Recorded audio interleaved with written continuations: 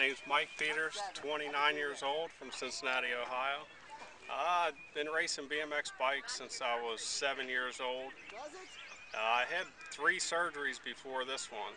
I had I got screws and plates, had a bad wreck in Florida down in 05. Ended up couldn't do anything in bed for months.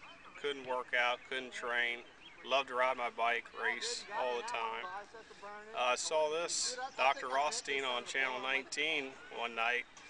Looked it up on the internet, did a follow through, went up and talked to him. Ended up going through with it.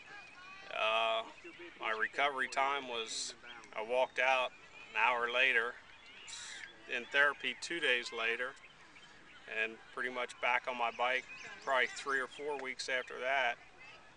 And uh, ever since then, we're just going to keep trying, and back feels perfect.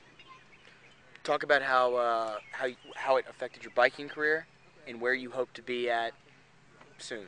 Uh, back in 05 when I fell, I really couldn't race. I still tried to. Really didn't do as good as I thought. And then ever since I've had this, my back feels perfect. I'm motivated. I go to the gym every day, work out, and now I'm on my way and hopefully be number one again.